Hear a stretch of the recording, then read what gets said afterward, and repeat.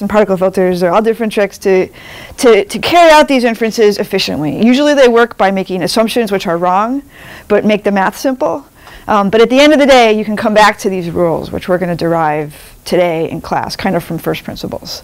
Uh, we're not really going to derive them because there's a lot of stuff in, in, in the chapter that uh, I recommend you read, but I'm going to try to give you like the highlights, um, the, the most important things for, for, for how that happens.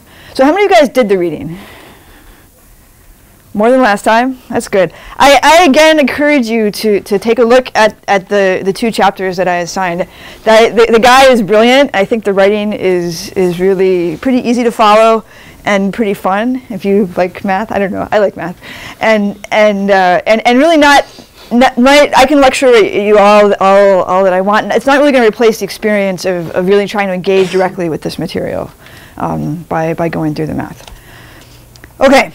So, so to pick up from where we were, does anybody have any questions about anything before we kind of dig in? Okay, no questions at all? Really? What's that? What are quantitative rules? What are quantitative rules? Yeah, so, so we talked about deductive reasoning last time, and it was if A is true, then B is true, A is true, therefore B is true, and if A is true, then B is true, B is false, therefore A is false. And we worked, we actually implemented in class a little algorithm for proving new things about the, the world based on things that were already using these rules basically, right? So, so we had this little search engine that just expanded and found all the possible things. Eventually, they're kind of influent, right? So you just keep running and running and finding more and more true things about the world. But if you remember, um, we, we also talked about plausible reasoning, right? So what happens when you don't know the truth values of A, B, and C. So you want to ask if A, maybe you know that if A really is true, then B really is true, and B is true, and, and then you know B is true. Somehow we think A becomes more plausible, okay? So instead of assigning a truth, so, so, so deductive logic says nothing about this, right? If B, does that make sense, everybody? Why don't we do that? Come, let's come up with an example of, of, uh, of, of, a world where if A is true, then B is true. So, so there should be an implication.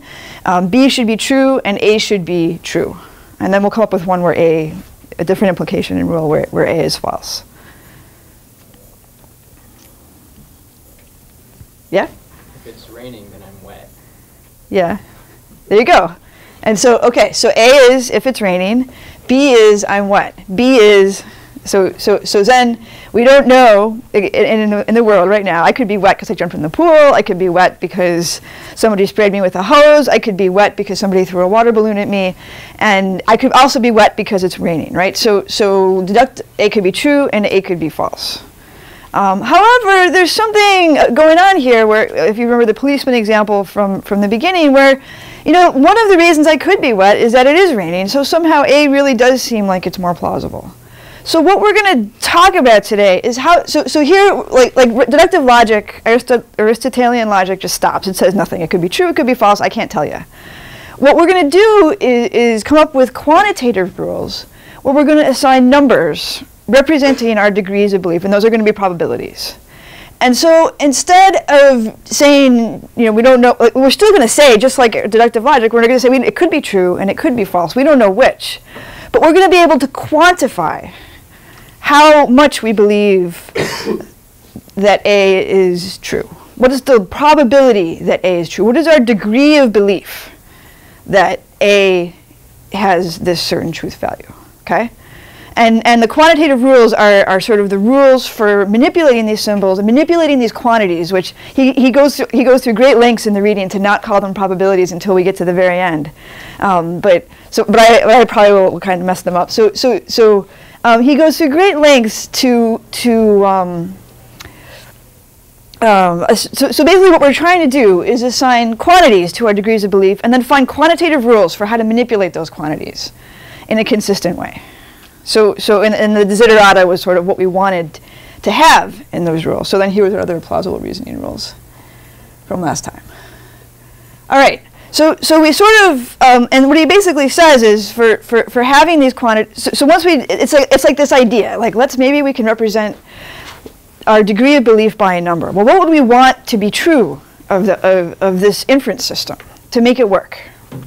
So, so these are the desiderata. What are some of the desiderata he came up with? We talked about them last time.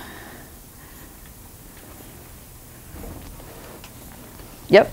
If you go, if you get to the same place by two different paths, you should come up with the same result. Yeah, consistency is what he calls it. So if, if there's two different ways of coming up with one of these quantities of the degree of belief that A is true, let's say, that are logically this consistent. So, so two different paths through the proof tree uh, of, of coming up with two with um, two triums, you should get the same number.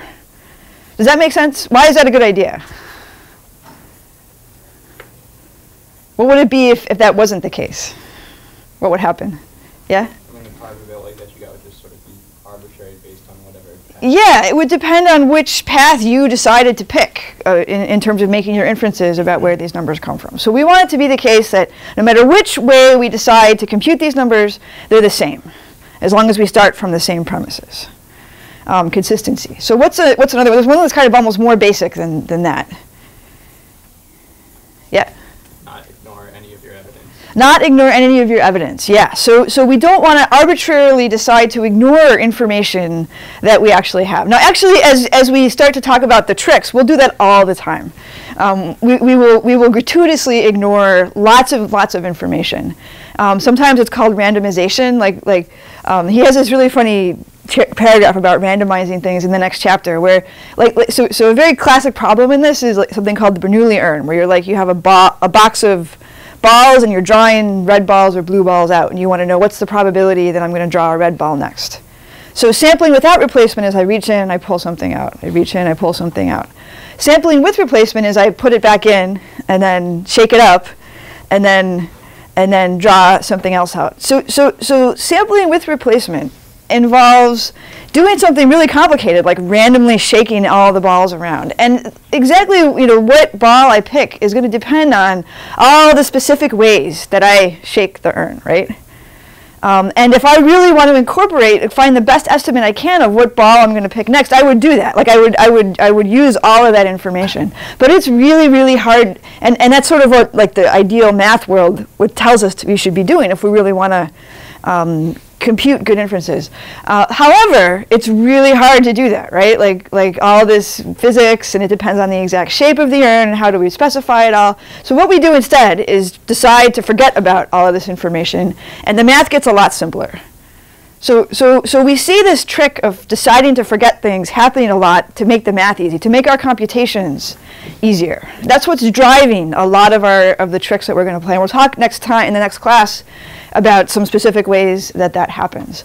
But in math world, when we derive these rules of inference, we should have, in principle, some way of taking into account all of the information that's available to us. All right, I forget what else is, is left. So let's see. Well, so the first one is is is we're just gonna. They just he just says like let's represent degrees of probability as a number. So so we, maybe we could have picked discrete let sets. He's looking at like multi-valued logics and stuff like that. But let's just see what happens if we use numbers, real numbers.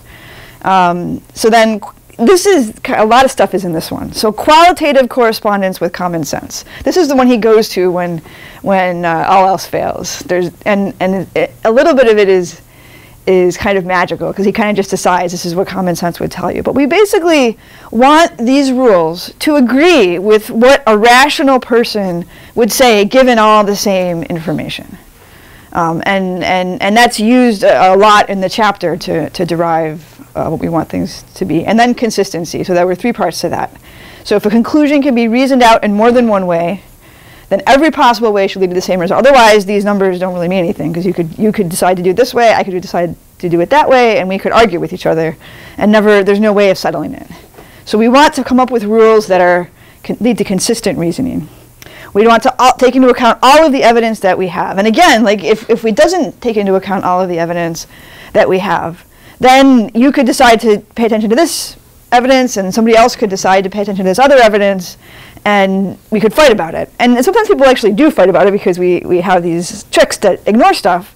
But in math world, in the sort of elemental form of these rules, in the pure form, we want to take into account all of it. And then um, finally, we represent equal states of knowledge by equal plausibility assignments or probability assignments.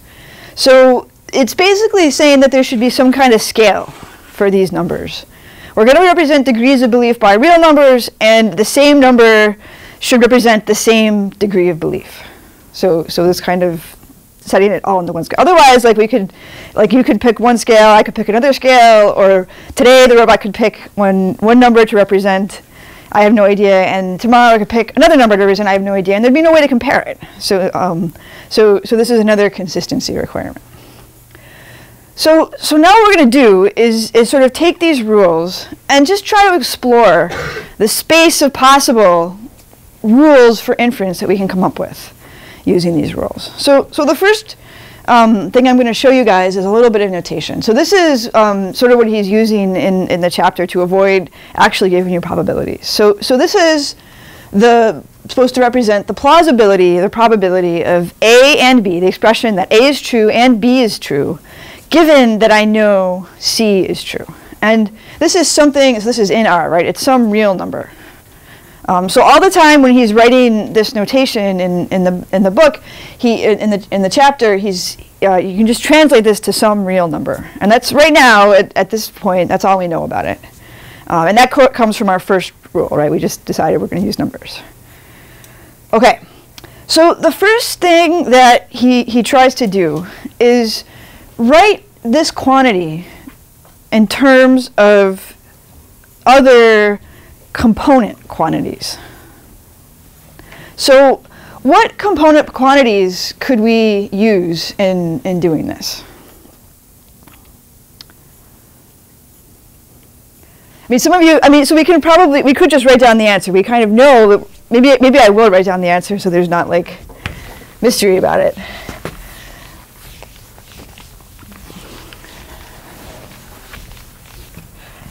So so this is the product rule. So probability of A, B given C equals the probability of A given C times the probability of B given A and C. And it also equals the probability of B given C times the probability of A given B and C. So, so what we're going to do, so, so this is what we're going to get to at the end. How many of you have seen this before? Most of you, right? Yeah. Um, so what we're going to do for, for the next few minutes is kind of ask ourselves where this comes from. Why uh, were these rules just handed down from on high as, as, as the two thing? Like, like, so, so, so first of all, what are other rules that we could have?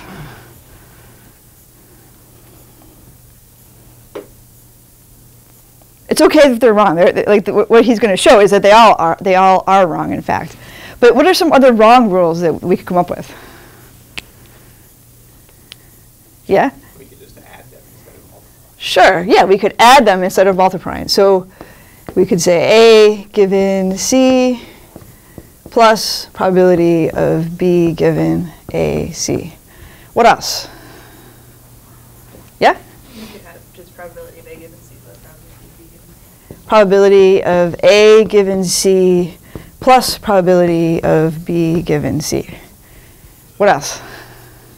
Yeah? You could just have probability of A and B.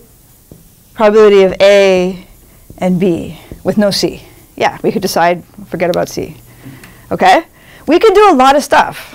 And, and, and this one is nice because we can kind of see why, why is this not right? Because we're ignoring some information, yeah. Um, but, but these other ones, maybe it's not quite so obvious why they're not right. There's also other quantities we could use. So let's keep uh, multiplication as our, as our form. What are other quantities that we could get from A, B, and C um, using this sort of notation? Yeah. C given B A. Yeah, C given B, A. What else? B times C. B times AB, probability of AB times probability of C. A, B. Well, I could get A, B alone without given C. I could get C alone, right? So I could go through, and he talks about how there's 11 different ways you can get these different functions. So why are these two the ones? What, what, what privileges these two? We'll talk about it. So, so this is sort of the question that I want to. I guess what I'm trying to do in, in this is, is try to make you guys question why, where these rules come from, and realize that they're not that there are other things that we could it could could be the, the true rules of inference that could lead to consistent reasoning. They don't, but it's not like these are the only possible things we could come up with. So here's my slides for that. So so now we're going to sort of talk about where we can get the the product rule. Um, so so what gives rise to it? So um, so so the reasoning that, that he gives is that it, it basically comes down to the structure of the logical expression of AB. So, so what do we know about AB?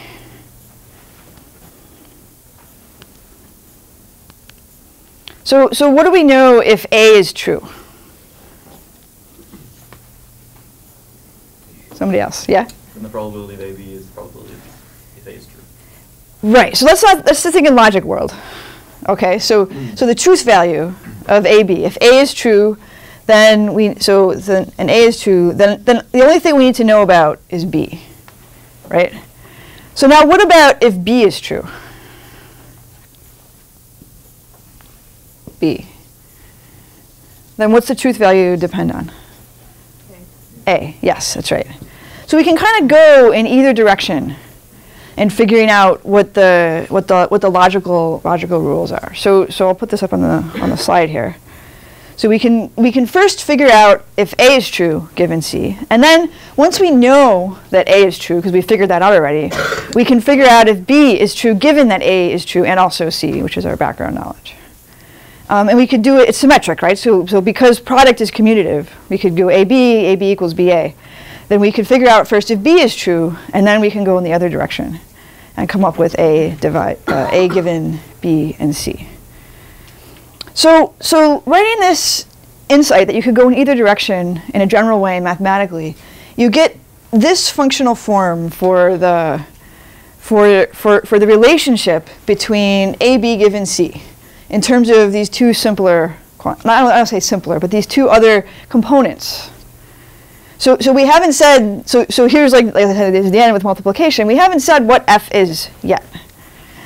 All we're saying is that it has to be, that there exists some function that takes as input b given c and a given b and c and returns the plausibility. So does everybody make, they kind of get why that, why that makes sense? And I could do it in the other direction too. I think I have that up there, yes. And, and that function, it, it works in the other direction, and those two functional expressions have to be equal. f could be, right now, whatever I want. It could have square roots and e's and who knows what else, um, as long as it, uh, this, this property holds. So, so again, I want to I want to ask you guys to think about other functional forms. So, so the first group we're going to talk about is, is what if we just um, take so, so in, this, in, the, in the book, he, this is where he's talking about u, v, w, u, v, w, x, and y. Um, so, so, so we can take a, b given c and come up with other combinations of these variables that, that correspond to all correspond to logical expressions, and therefore they all have some number associated with them that represents the degree of belief of that predicate. And, and we can uh, ask ourselves whether the, uh, these, these expressions are, are, could hold, whether they could make sense. And this is where he's kind of relying on the, the idea of qualitative correspondence with common sense. So, so um, what you can do is just write down all of the different functional forms you could have. So, so it turns out that there's, these are the ones of one variable, and these are the ones of more than one variable um, for, for, for a function. And you just enumerate them all. That's, that's what I'm doing here, with, with C always being given, so we're not trying to mess around with C. Um, and, and then ask ourselves, one by one, which ones, uh, uh, basically one by one, go through and try to find counterexamples. Why do these rules, why does this functional form violate the, do these functional forms violate the, the rules of common sense? So, so for example, um, this, this is one of the ones he gives as, as an example. So, so, so for this one, we can imagine that A is the probability that the, the, the, the, the, the, the statement that the next person who comes in the room has blue eyes. And B is the statement that the next person who comes in the room has brown eyes. So, so it's reasonably likely that, that either one of those could be true. It's, it's not something that seems like radically unlikely. However, if A and B were both true, then, then the plausibility of, of somebody coming in with one blue eye and one brown eye, let's say, is really, really low, right? What's that? Question? If someone goes to brown, there's one brown eye, one blue eye. Oh, there is. So, okay, so it's not zero, but it's really, really low. And we could construct an extreme case where it is, is zero. Like we could say both eyes are, are, um, are this color. So, so what that means is that making this function, um, this, this function here of blue eyes and brown eyes without um, putting the, the other predicate in the, in the given side doesn't really make sense. Because we come up with this, we can come up with this counterexample that violates the, the rules of common sense. Does that make sense to everybody? So, so what you can do is, is um, come up with these kinds of counterexamples for the other functional forms that, that aren't the product rule, basically. So, so what I'd like you guys to do right now is um, turn to a partner and pick one of the ones that's wrong, and then come up with a counterexample, um, like the one that he that, that we just did with blue eyes and brown eyes, that kind of shows why it doesn't, why it violates the rules of common sense, why that functional form isn't going to work if we want our, our reasoning to, to mimic what, what a human would do. Go.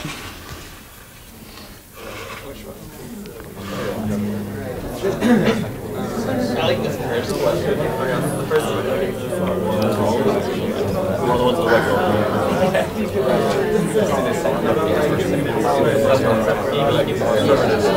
first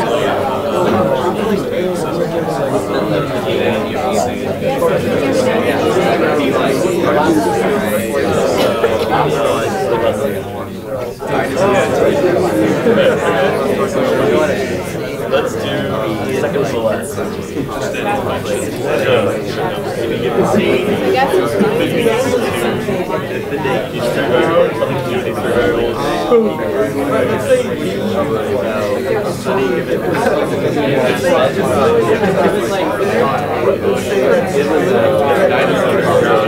you could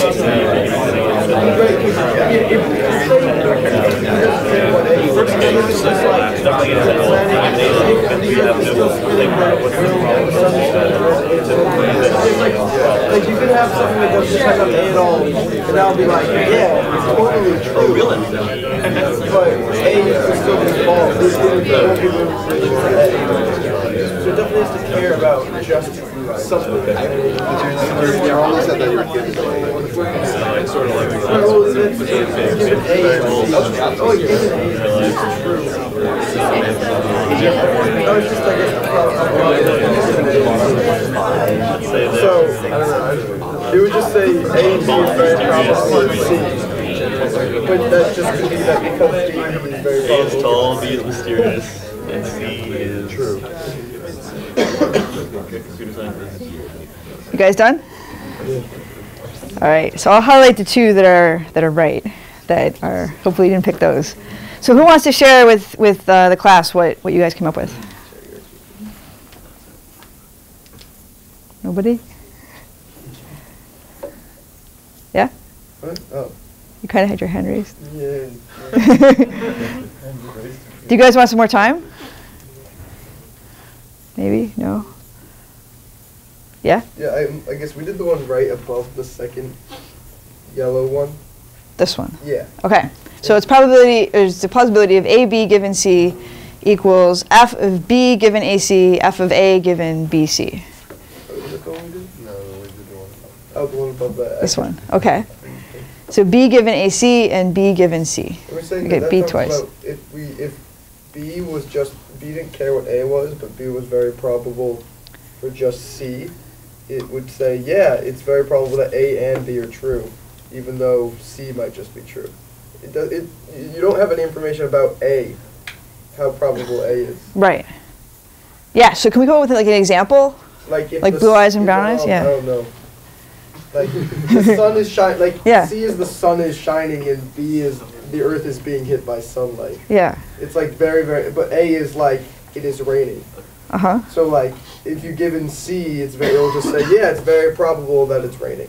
like that the sun is shining. Yeah. means it's raining. So like if A and B really have nothing to do with each other, there's no way for it to take into account that, that that's the case. Somebody else want to, that's good, thank you. Does somebody else want to share?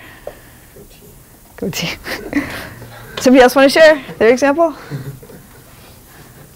Yeah? So like the very bottom one, or actually like the whole collection underneath this Yeah. yellow, Yeah. all have sort of too much information. So you could Yeah. provide contradictory information. Like uh, in that sense, if you have any two Yeah. ones on the board, Yeah. If you have three, you can get to the other one. Yeah, so these aren't exactly wrong because you could just decide to ignore one of your arguments. But if you, But if you gave, yeah, give in um, Yes. different things which were contradictory, yes. and then it would depend on the inner working of the. How it broke- the right answer or not. Yeah. Which right answer. So, so what would that violate? Uh, consistency. Consistency, yeah. So, so I'm giving kind of redundant information here. So, so I'm giving B given A and C, and I'm also giving B given C. So, so if, let's say that um, B, I don't know, like B given C is really, really implausible, but then B given A and C like is really, really plausible, then it's gonna, uh, I, I, I, I need to make sure that these two numbers are somehow consistent to make it kind of work. So I, I could, if I didn't make them consistent, then I would get this inconsistent. And by making them consistent, you can basically say, well, I just don't need that argument, and it gives you back to the other one. Somebody else in the back? Uh, the one above the second yellow one, if A and B are things that are very likely to happen with each other, Uh huh. then you can't really express A and B given C.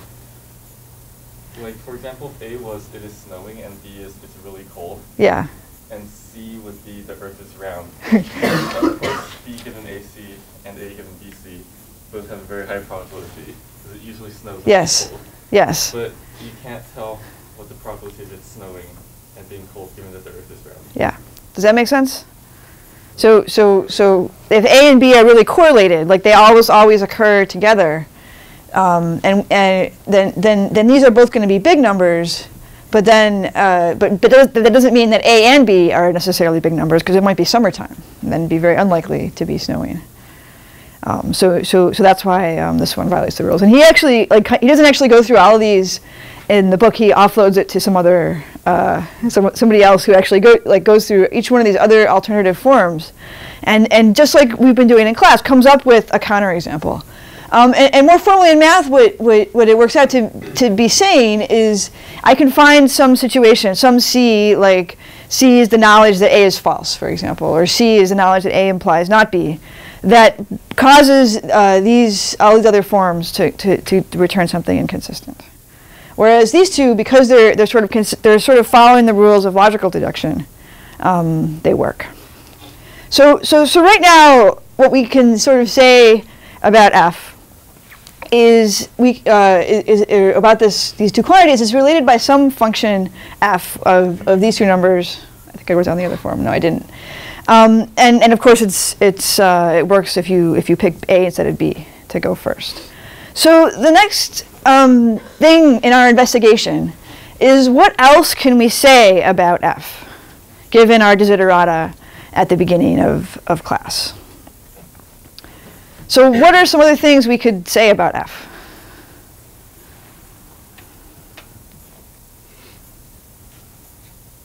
Like ways it could be different, or What's that? ways it could be different, or Yeah, what are, what are some different constraints we could try to prove about f? Even if they're wrong. that it can't be addition. That what? It can't be addition. Yeah, that's good. So, so we could try to say f can't be addition. f can't be, so if f, so, so we can write it as, as with just f of x, y doesn't equal x plus y. We could try to prove that. What else? Better take in and give out real numbers. What's that? Better take in and give out real. Yeah, that's good. So, so f better take in and give out real numbers. So f of x, y should be in, should I should say, should be in R, and x had better be in R, and y had better be, I wrote that wrong, in R. Yeah. Yep. that um, you can come up with the same because the, if you switch the inputs of f, it should be the same. hmm Yeah, exactly. So, so that's really good. That's that's like sort of the key to to to saying more things about F. So that's called associativity. So, so what's associativity in arithmetic say?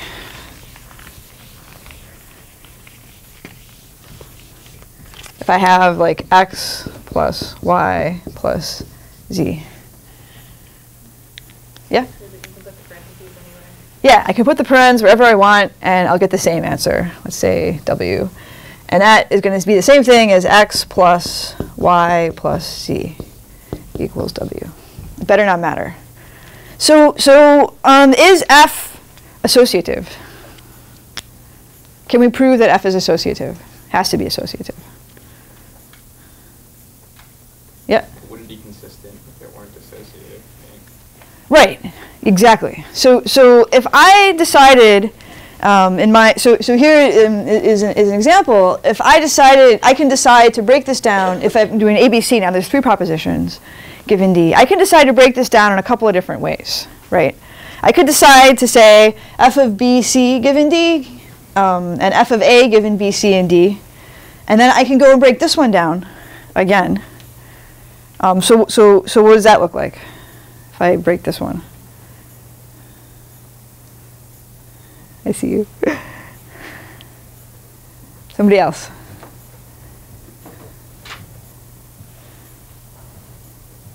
You. B given D and C given B. Yeah, so and what am I going to pass them to? F. Yeah, I'm going to call F again.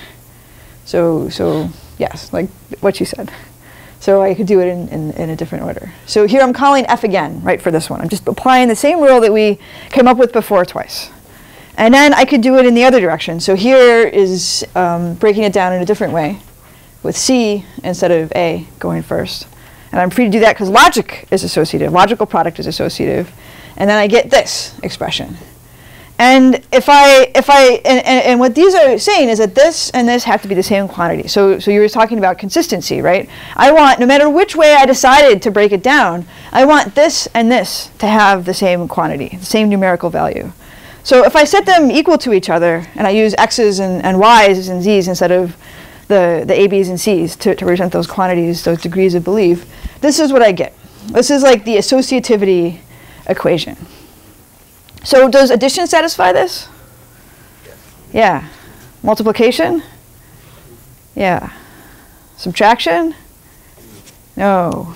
Yeah. So so there's lots of functions that satisfy this, right? There's there's all this I don't really know group theory at all, but like that's what people think about. Like um, they study classes of functions that satisfy the, the, the, the rule of associativity. So so we know um, that somehow our, our rule for combining these degrees of belief has to be associative, just like addition and, and multiplication. So that makes addition multiplication good candidates for, for what our f should look like. But there's lots of other functions that, that would work as well, anything that's associative. Cool. Okay, so um, so, so what they do in, in math is, is they give a bunch of like calculus here, which I'm not going to do in, in class with you guys today, and, um, and, and take some derivatives and stuff. And what they basically show is that in order for something to be associative, this is a general result for, for anything that, that's, that's associative, you have to be able to define it in terms of these primitive function, this, this other function f, where w inverse of w of x uh, and y is, is, is what f is. And I get to pick w to be whatever I want. So I'm not sacrificing the generality of f beyond what I've already put in terms of uh, associativity. I'm just saying instead of defining f as a black box, what I really need to define is w, and then I, I can put it in this form and, and give me f.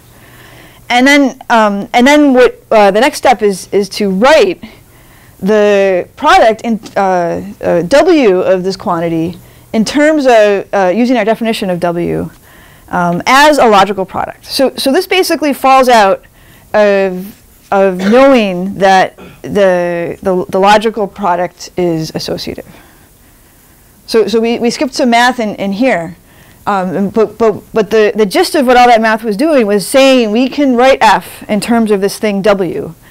And once I and, once I have w, I can write my I, my a b given c in terms of multiplying w's together. So this is the product rule with W instead of P. Is that kind of cool? Yeah? How many arguments is W taking? W is taking one argument. And W this is taking two. Or four or Hmm. Like, what's the comma? Is it Yeah, I don't actually know. Let me pull up the book.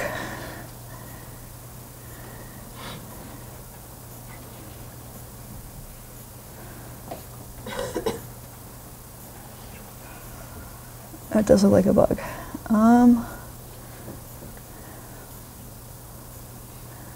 Because if W inverse takes two arguments, then W produces two arguments. Yes. W inverse takes four arguments, which means W. oh yeah, it's supposed to be logical product. It's supposed to be product in there. Thank you. So I will fix that.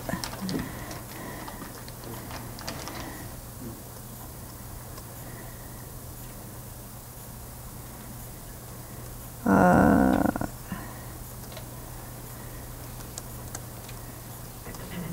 Thank you. Nice catch. So, is that better? So, so I just took out the comma. This is supposed to be wx uh, uh, times w of y. Does everybody like that? I think it's kind of cool. Like that you can start from from from the, these very basic assumptions, and you can get to the product rule. So, so the next thing I think is even cooler. Um, so we're going to think about what happened. We're going to actually go from from from this function, which which right now, like we've gone from having to pick f, which is this two argument function that was arbitrary, to picking w, and then we can define f in terms of our, of our w. Now we're going to actually think about what values w has to have at certain, for certain conditions in order to satisfy our rules of, of inference.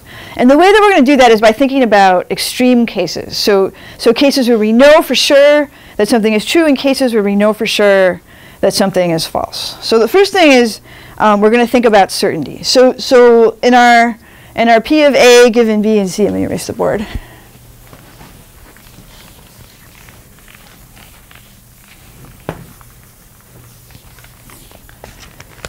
So in A, B given C, what do we know? So, so what if A is certain given C? So, so we're going to get to like the W has to be one, but but let's not jump ahead to, to, to the answer. So, so so what do we know about um, A B given C as a as a logical expression? What does it equal in logic if A is certain? A and B is A is certain, and and we have A and B. Yes. Uh, B given C. Yeah, it's equal to the value of b given c, right? We know a is true, so um, so so whether that whole expression true is true only depends on whether b is true. That makes sense, just logically. Okay, so so the next thing um, we can do is, is let's think about the the plausibility. Let me look at my notes. Make sure I do this right. B, a given b and c. So so now we know that uh, A is true, logically, given C. So what does that have to equal? Yeah, one, but but logically, logically it has to be true. And what it, and, and and and and now let's think about plausibilities. What what quantity kind of what what what what what numbers have to be equal to in terms of our plausibility real numbers? We're going to get to one, but it is true. Whatever number is our maximum certainty number. Whatever number keeps, like if you multiply it by itself, it stays the same. Yeah, we'll get to that. So, so what I'm looking for is A given C. So, so what this is saying, without jumping to, to yes, it's going to be one, and we'll, we'll, we'll get there in a second. Um, but without, without jumping ahead, what this is saying is that if I know for sure that A is true given C, for sure, then no other additional information can change my degree of belief about that fact. Okay? So, so no matter what B is, I don't care what you, what other stuff you tell me. My, my, my eyes are closed. I don't need to pay attention to it at all because I just know that um, it's equal to the plausibility of A given C, which is certainty. Does that make sense? Okay, we'll, we'll get to one. You guys, you guys aren't wrong, but we're I, I want to just break it down so you can see that it kind of comes out. It's not something that come that we put in. It's something that comes out of, of these rules. So now let's try to write our associativity rule. So W of A, B given C equals, I'm gonna make sure I write it in the right way. W of A given B, C, W of B, is that right? Given C. Yes. Okay, so now what we're going to try to do is, is come up with the form of this, given, given these two assumptions, so without substituting one and, and, and stuff yet. So, so, so what do we know about W of AB given C? What is it equal to? W of B given C, excellent. B given C. And what do I know about, about W of AB, W of A given BC? Yes, but, but, yeah. Yeah, it must be one, so AC must be. It, so, so let's just substitute it in, and then and then uh, we can see. So, so so I hear people saying that it must be one. Why must it be one? Now, now when I write it in this form, maybe you can see, like like for those of you who haven't jumped to conclusion, why does it have to be one?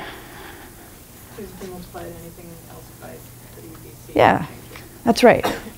So so isn't that amazing? Like we started out with these completely undefined functions that we get to pick to be whatever we want. But now we, we've, we've proven that W of BC, or W of A given C has to be 1. Certainty just comes out of this. 1 representing certainty comes out of this. So we've gone from these arbitrary functions to a number for, for, for what certainty has to be. I think that's really cool. Yeah? There's also like a sort of trivial of thought where you say, or W B given C is always just false for any B and C. It's just always zero. Well, so we're going to do impossibility next. So let's. But let- that, like, it- that equation would also work if W of B given C is zero. Yeah. Right? It would just have to be zero for every. Yes, if everything was, yes, you're right. So, so there's a trivial solution to this, is, is what you're pointing out. Um, a- and, the trivial solution is that w of x of x equals zero for all x. Okay? Um, but that doesn't really help us in terms of our, of our, of our rules of, of reasoning and stuff. The like should agree with uh, Yeah. Yeah, so, so if we want to, to get, uh, I mean, otherwise it's not, it's never going to make any inferences at all. It's just going to be like, I don't know. Everything is zero. It's very sad. yeah, so, so, so yeah, we, we use that we want to qualitatively agree with common sense. We don't want a robot to just always say, I don't know, because it wouldn't be a very useful robot. And why are we, you know, busting our head doing all this math if our robot's always going to tell us zero, no matter what? So we reject the trivial solution, although he, it, it- you know, it, it's definitely worth thinking about it. Um, and uh, so, so if you reject the trivial solution, then then you have to say W of A given C, given that that that um, we know that that's true, it equals one. So we get this out of our axioms. All right. So now let's talk about impossibility. So so what if A is impossible given C?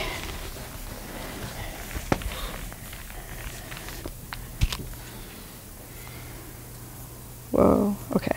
My slides aren't. All right, so what if A is impossible given C? So, so now how can we write AB given C? So, so again, we're going to get to like, you know, what the number has to be. Although in this case, it's, uh, it, so we're going to talk about like whether, um, it doesn't have to be zero. So, so, so we get to choose.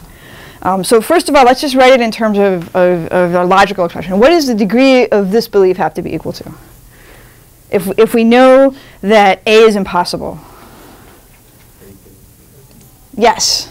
So, so, so to see that, so this equals the plausibility of A given C. So if we know that A is, is false, does it matter what, what value B takes on? No, because that product is always going to be false. The, the logical product there is always going to be false. So it doesn't matter what B is. Um, okay. So now let's think about A given BC. A given BC. So, so um, what is this one equal to? A given C again, right. So same thing. Like if we know for sure, for sure, that A is false given C, no additional information matters to us. We already know it. We already know the answer, and, and we can just ignore um, the contribution of B. Unless, now, now, we could have like inconsistent states, right? Where like, we could have a world where A and not A are both true. And then, and like, like B might be the, the information, like C, C, C would tell us that A is false, and B might be the, the statement that A is true. And then we get to a logical inconsistency and we crash. So we're, we're, we're not taking into account information like that. But assuming we're in a logically consistent world, then you have to, you can ignore whatever B is. All right, so now we're going to do the same trick uh, as before. So we're going to think about the product rule. W of AB given C equals W of A given BC times W of B given C. And let's try to rewrite it. So, so, so in this world where we know that A is false, what is this equal to? W of A given C, right. And now in, um, in this world, what are, what are the other two terms? So W of A given BC, A given C times W of, so that one doesn't change, right? Why doesn't this one change? There's no A. So we don't know anything about it. We can't, we have to just leave it alone. So now the, the question is, um, there we go. So what do we know about W of A given C to make this be true in the world where, where it's, it's false?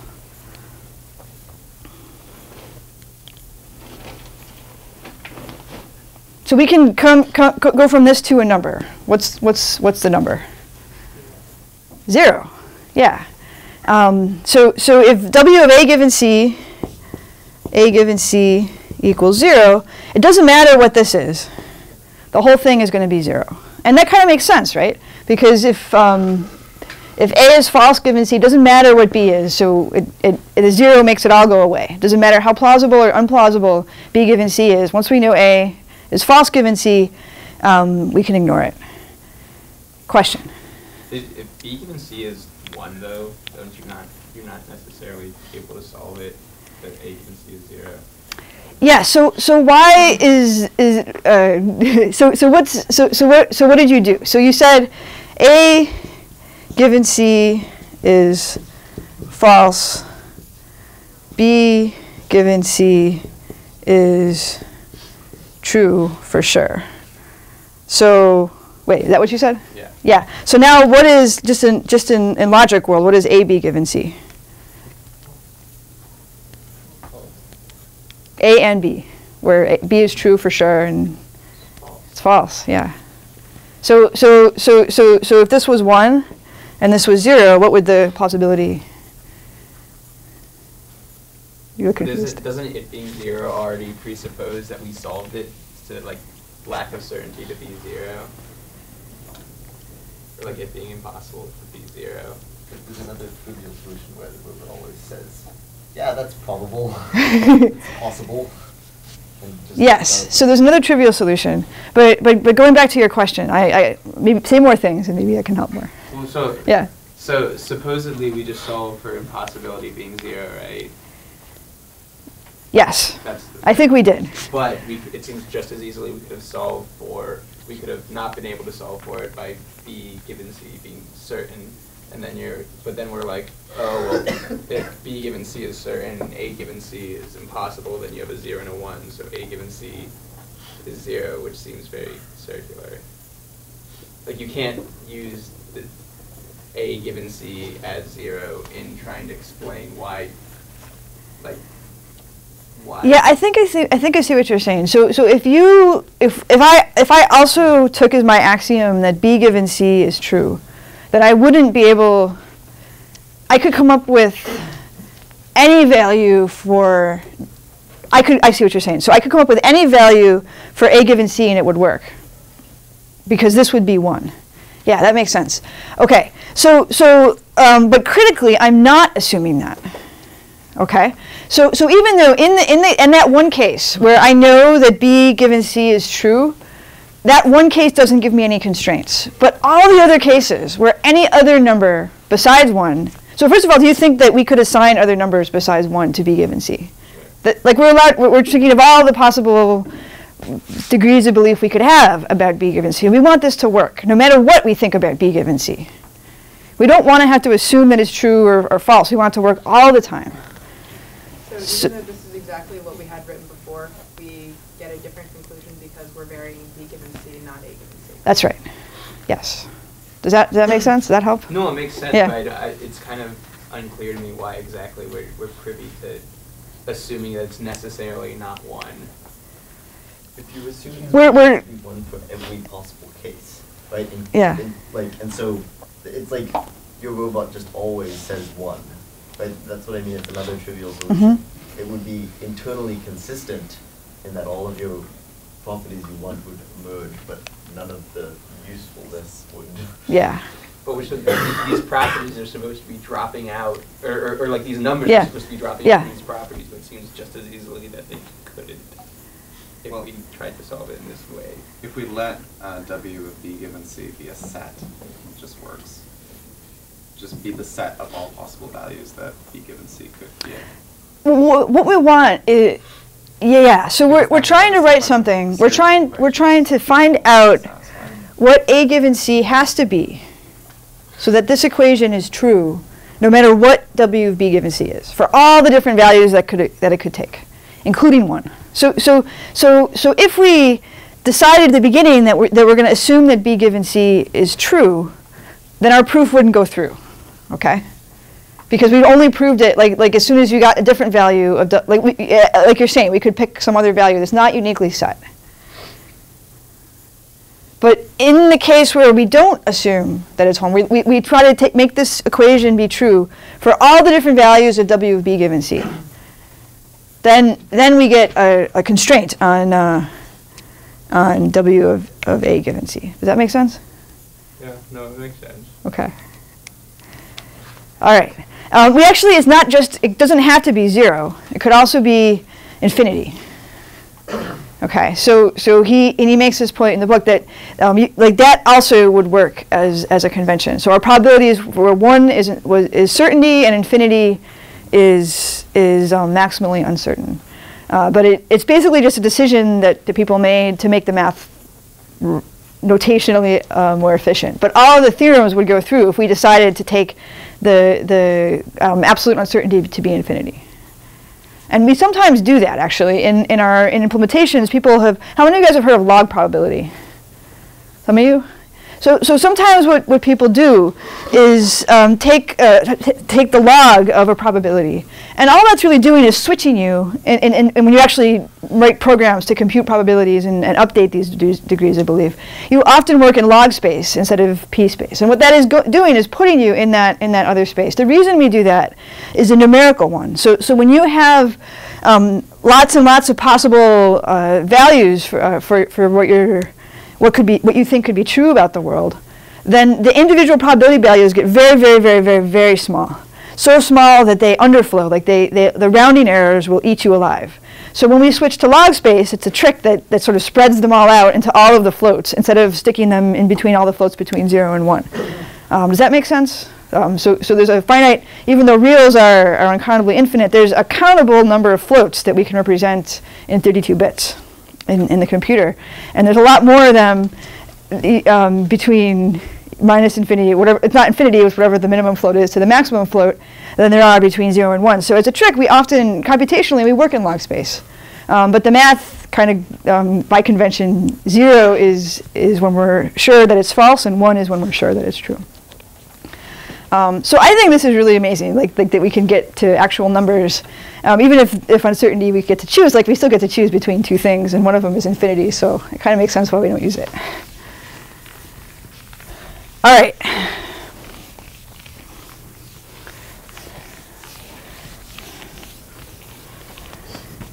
Okay, so the next thing we're going to talk about, um, and we're going to go a little faster through this, is the sum rule.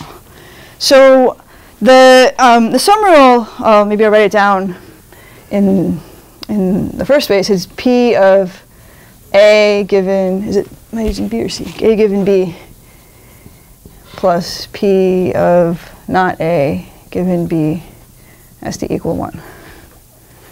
Um, and and basically what we want to do is, is is derive this rule, or what he does in, in the book is derive this rule from our, our same first principles. Um, so so we, we, we know because A and not A can't be true at the same time. Otherwise, we're in that logically inconsistent world where, um, where, where we don't we can prove anything, right? If A and not A are both true, then then our world doesn't make sense, and we're stuck. Um, so so given that we know that that those can't be true at the same time, we can relate our degrees of belief about those statements. If we're more sure that A is true, then we have to be less sure that not A is true, and, and vice versa. So that's what this function is saying, right? So, so our, our belief about A given B has to somehow depend on not A given B, or else this, this relation won't work. We'll get, we'll get something that's inconsistent with the rules of common sense. And um, basically, what, when, when you write it down in this form and then ask, you assume differentiability and, and stuff like that, and you do a bunch of math, which you can read in the book, what you get is, is the functional form that S has to take um, to make this be true. So, so it uh, is 1 minus x to the m raised to the power of, of 1 over m. And there's some derivatives and stuff in there. Um, but this is, this is you know, kind of looking like you know, it has to sum to 1. Um, and, and then when you write this in terms of w, we can, we can uh, you, get, you get this form of the sum rule, where w, yes? What is m? Good question. Yeah, so, so what is m? So, so let me say what, what it is first. So, so, so m is, an, like notationally, it's an exponent. So I get to pick m to be whatever I want. w raised to the power of m of a given b plus w raised to the power of m of not a given b equals 1. So, so, so, so do we really need to do that? Do we need m?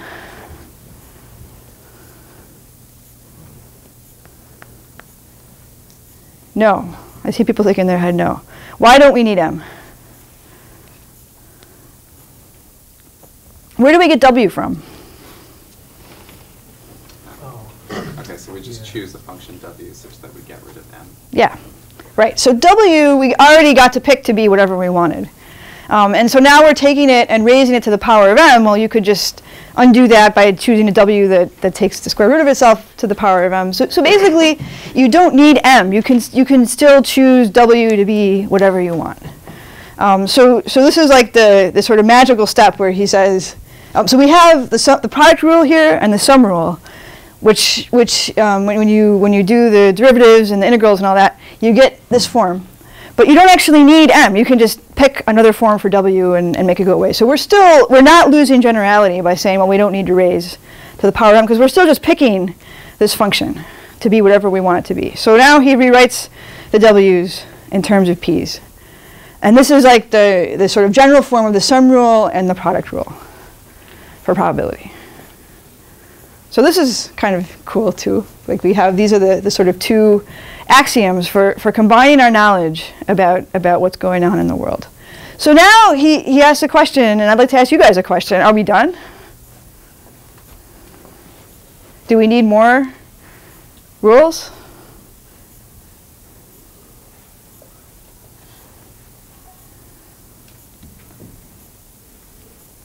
Be nice to have some more. It'd be nice to have some more. Yeah. So, so, um, so I guess to, to refine that question again, do we need to go back to our desiderata and do some more calculus, or can we derive the rest of the rules from from these two rules? And I guess I put put certain uh, zero and stuff like that. But like, um, so the answer is is that we can derive the rest of them from the, from these two. So so let's do that in as an example. So. So let's think about the probability of A plus B given C. So, so let's try to write this in terms of some simpler quantities. So does anybody know the answer just from, from like reading a book of formulas or something? So we can sort of see where we're trying to get. Yeah? P of A given C plus P of B given C minus P of A. Yep, given C. that's right. So P of A given C plus P of B given C minus P of A. Is that right? Yeah. Yeah.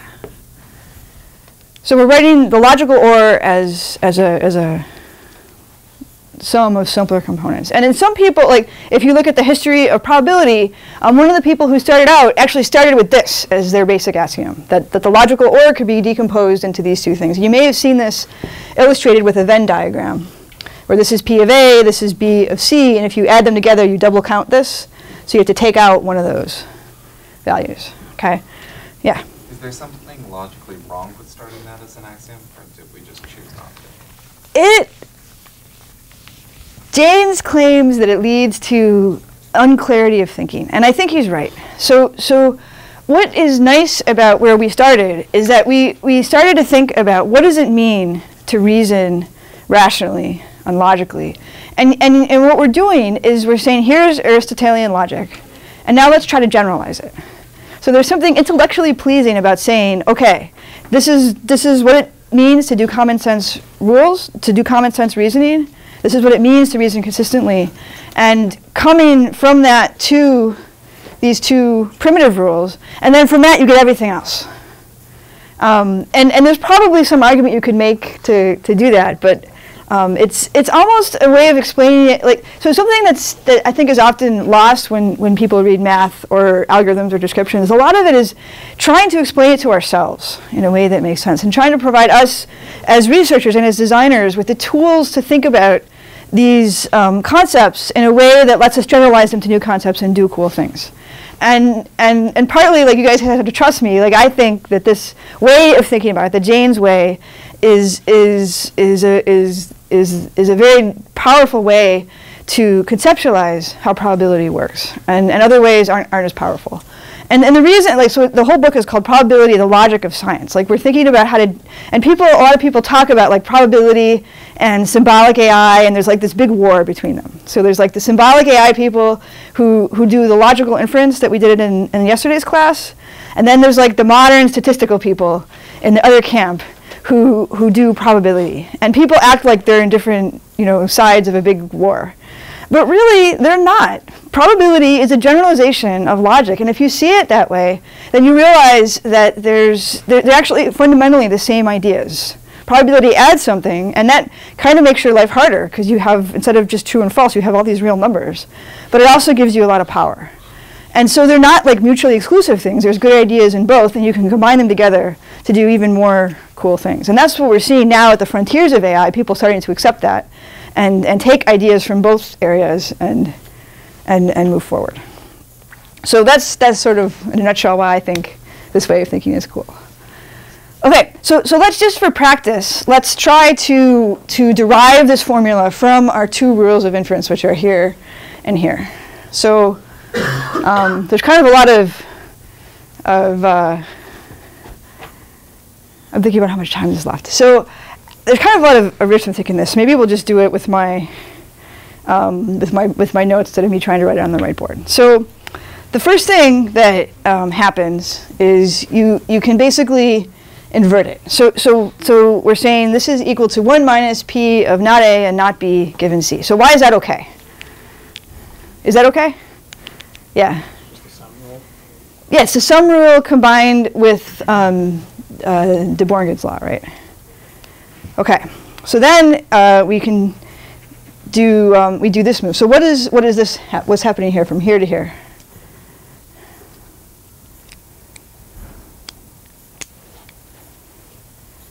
Yeah, just the product rule. Yeah. So so what we're doing, like I'm kind of giving you the answer because I don't want to search through all the space of formulas live, live in class. But what, what, you do to find theorems like this is you just start trying them. So just like we were doing last week with our, with our theorem prover, you just start applying rules and, and, and coming to good stuff. Yes? How can we get to use De Morgan's law while we're trying to use the sum rule and the product rule? We also get to use the logical predicates. So, so um, if we if we not something, then we can we can pass it through. So, so all the logical relations still hold. It's a generalization of logic, so we don't lose logic we still get to leverage it once it's inside of our probability values. We just, in addition, we have these, this probability function, and we know the rules for combining probabilities once we have them. Okay? So, so, so that's why we get to use those rules. Um, so you can sort of keep going. He's um, inverting this to say 1 minus, and then um, simplification, so you get this and then you can do more things. So, so then this is taking the, the negative and uh, using the product rule again uh, to go down the tree, and then you do 1 minus, and at the end you get, ta-da, the thing that we wrote down at the beginning. Um, this, this rule for, for the logical OR. So this is just an example of one theorem that we could, we could come up with given, given these two rules for combining different probabilities. And of course, there's lots more that, that we could, you could have. Um, and we'll talk about Bayes' rule, one of the most famous ones next time. So, so, so we can sort of, you know, go to town and have these little theorems and, and, and go back into logical deduction mode and, and just come up with more and more and more of them. And, and people do. And, and you also can, can come up with similar types of reasoning uh, under different uh, assumptions, under, under different specific values of A, B, and C that give you more specific forms for, for what P has to take. So if you've heard of the Gaussian distribution or the Bernoulli distribution, um, there, there's sort of different classic forms for what P looks like given certain assumptions on what A, B, and C actually mean as logical statements. So, so you can um, you can sort of do this kind of reasoning with more specific equations and you get lots of hairy math and people have lots of fun doing that. That's a lot of what current research in probabilistic, reasoning probabilistic graphical, graphical models looks like. Um, and we'll talk about one specific instance of that when we get to particle filters. So now let's think about, uh, going back, let's think about deductive reasoning. So um, these were the two that, that we started with as, um, so, so I was sort of saying that, that probability is a special case, or general, sorry, probability is a generalization of deductive reasoning. So what does um, this look like um, in terms of probability? So, so what do I want to ask about? that first uh, axiom. So if A is true, then B is true, A is true, therefore B is true. And here I'll define C for you. So C is defined as A implies B, that first statement.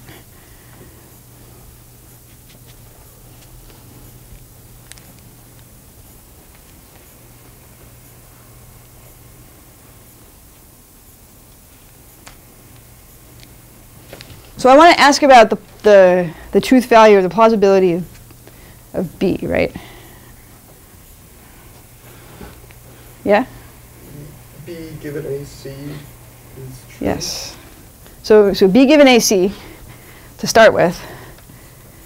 B given AC. Yeah, so I'm going to get to, to, to, to it true, but let's, let's use the product rule first to, to, to look ahead of ourselves. So, so here's the product rule applied to that. So it's probability of AB,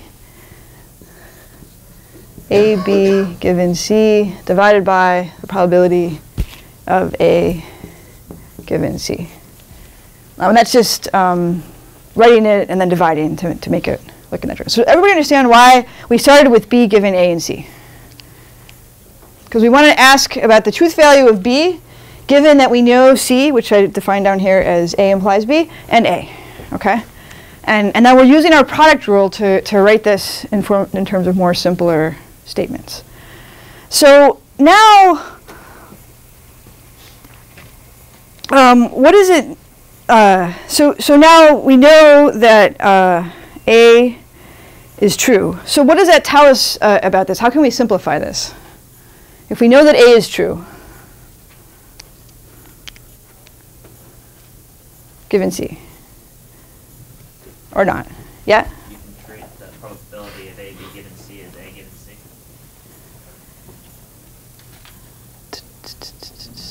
Uh, yeah. So AB given C, yeah, this is 1. And the denominator is also 1. So I get 1. So this is kind of what I said in words. It's like an empirical demonstration. That if I stick in logic land where everything is zeros and ones, I can use the product rule that I derived, and I can get, I can stay, and it all still stays with zeros and ones. Okay, so so so so so we get that B is true in in the sense that it takes the plausibility value of one. Does that make sense, everybody? All right. So then let's do the the other one. So um, so this is if A is true, then B is true and B is false, therefore A is false. So it's plausibility of A, the probability of A, given that B is false, and, and C, which is the same conditional. So what we're going to do is write this in terms of the product rule again, just like before, with negatives. And, and now what can we say about the, the value of this expression? So if B is, is false, then, let's see, did I do this right? So if B is false, then not B is true, and then A given C is not here. So okay, A given not B and C times da, da, da, not B and C.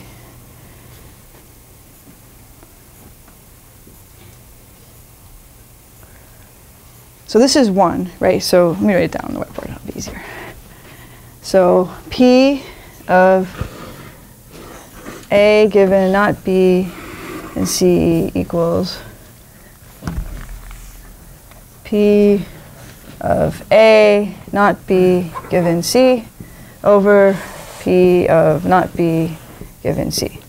Um, so, so if I know that B is false, then not B is true, right? So this is 1.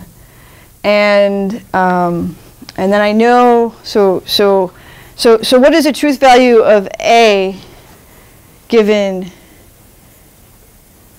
C? So, so if not B is false, then this is true. So it kind of, um, I think it goes to zero. Does that, I'm waving my hands here. I wonder if I wrote it wrong. So A given B and C.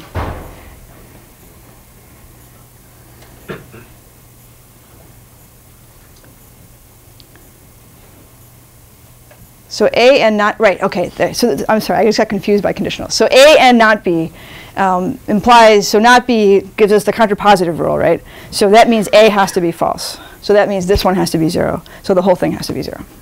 Sorry for getting a little kerfuffled. Does that make sense, everybody? Okay, so, so the contrapositive um, is what, um, and, and converting a conditional to an ands and, and ors is what gives us that. Okay, so, so this is sort of saying um, these two rules of deductive logic are the limiting case of probability. So, so the, the sum and the product rules are completely consistent with them. As long as you put zeros and ones for certainty and for absolute certainty and absolute uncertainty, you can just apply the sum and product rules and you'll get the same answers that you would get if you, start, if you stayed in deductive logic land. Um, but then if we go to sort of plausible reasoning, so if you remember from the beginning of class and, and the beginning of lecture, we are talking about the difference between the deductive rules and, and the plausible reasoning rules.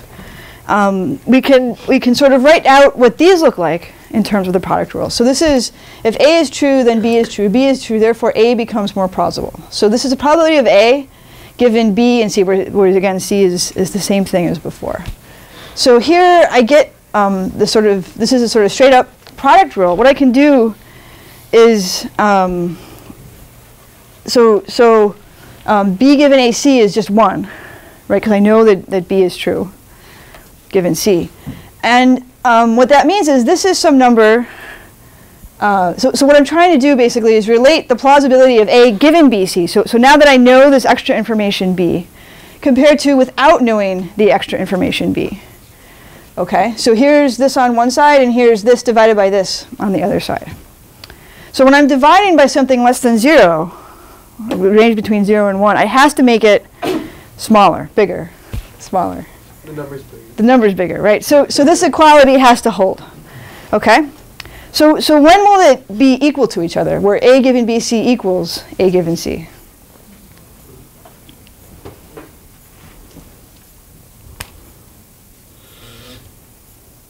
Yep. Where A doesn't depend on B. Yeah, where B doesn't give me any new information at all about A.